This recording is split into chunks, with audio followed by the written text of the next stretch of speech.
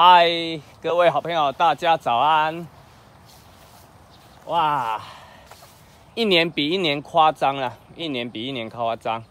你有在大家一起交流、观看我们的记录的影片的朋友，你就大概知道了。这是我的第一颗那个嫁接里面的芽接，芽接洛里吧？对，应该是芽接。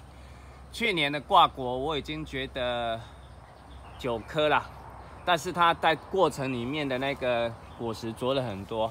那今年植栽又大了一大了一号哦，整个果树又大了一号之后，你现在看一下现在的挂果哦，就是来花的挂果，真是超夸张。当然，我们落里我们知道它还会有生理落果，而且会落得相当相当的严重。你看，我现在摇一摇这些啊，大概好可怕的量。那这一颗落里有有一个它的特性哈，它会开始。原来的老的叶子会开始掉，之后再从前端长出新的叶子啊，就是这一颗洛里的特性。我有看到说有人说每一种洛里的品种，它的叶子的掉法好像也会有一些差异。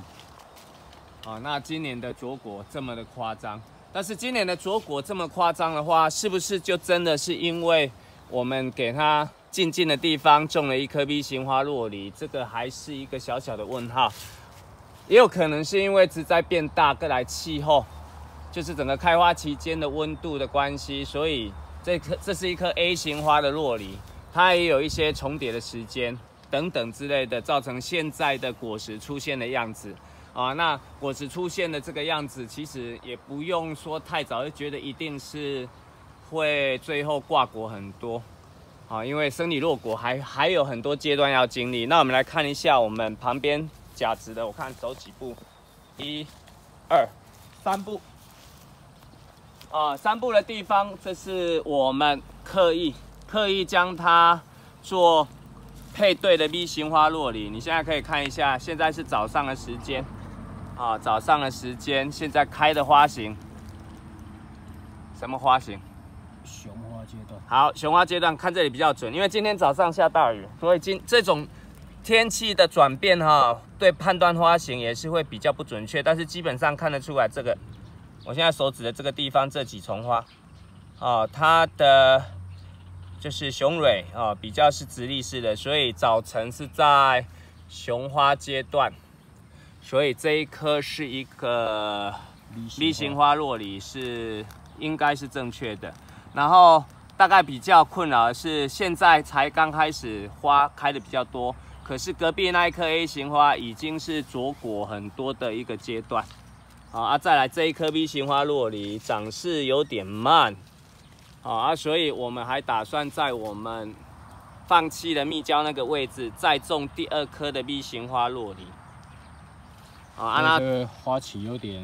重叠性不佳，就是重叠性不佳，就是隔壁已经大概开完挂果，它才正大开，这个就是我们说的配对问题啊。所以，我们这种业余的栽种者，就是只只比较注意到 A 型花、B 型花，对于花期的掌握哈，就没有专家他们来的准确哈啊。所以，如果你是要经济栽种的，建议你还是接受专家的辅导啊，专家的辅导。那也去买那一种品质有保障的果树植栽。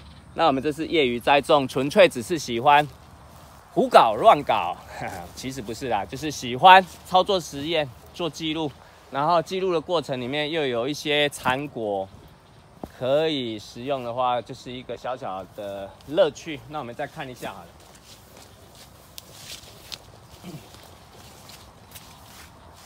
真的不夸张哎，你看，哦，目前目前的果实，目前的果实，这一丛若着果一颗就就就一颗就可以了。为什么？因为只要一颗它才会大，才会漂亮。因为它的梗就这样子，一颗就可以了。甚至这整个整个这一个枝条来一颗，底下这一这一个，我觉得也也不太那一个。但是呢，还是让它自己掉完了之后，再来看看。那今年我大概有昨天开始有去探访联络，是附近周围挂一些果蝇的那个诱捕器，果实蝇的诱捕器。我最主要目的是说引导那些果蝇，就是不要大规模的在这边叮咬果实，好，但是幼果被果蝇叮咬下蛋之后，它其实只会产生一个疤，到它成熟的时候，只要落梨还继续发展，它还是可以到最后可以食用，只是那个皮上面会有个疤，但是如果是在落里的果实的后段已经要成熟，你才让果蝇叮咬的话。那那个果蝇就会在里面，哎，那个叮咬生蛋的话，就会在里面孵化，那个果实的商品的价值就几乎没有啊。所以早期的叮咬下蛋，啊，就是只要是自己食用的话，那还可以继续继续那个培育啦。但是果实成熟后期就一定要避免被果实蝇叮咬下蛋。好，看一下，你看每一个，那叶子要掉。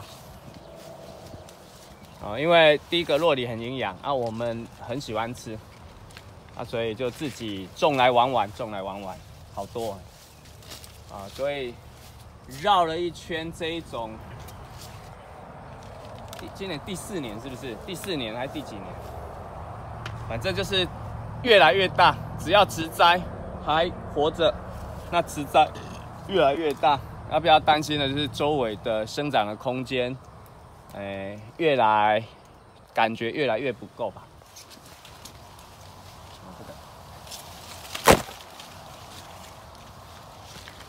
啊，周围都植栽，有一点互相要接触到了啊，这些。啊，下落梨花，看底下、地上，地上都是啊，啊，那也掉了很多果实啊，这些都是。啊，然后这个本来它就会是这个样子的哈，所以不用太悲观了。接下来就是研究一下哈，或者好朋友有没有方法，就是怎么做保果的一个一个动作哈。看保果有分两类，看有没有用药的方式或者不用药的方式，好，都欢迎跟我们给我们指导了哈，让我们参考一下。对啊，然后幼果期还有一种上面有一种春象哎，不是荔枝春象了哈，有一种现在叫什么什么。那个名称我没有背下来，也会危害到幼果啊！这个这种春象在我们这里发现的那个次数比较少啊，但是那个也是一个危害，要小心啊，要小心啊！那像这样，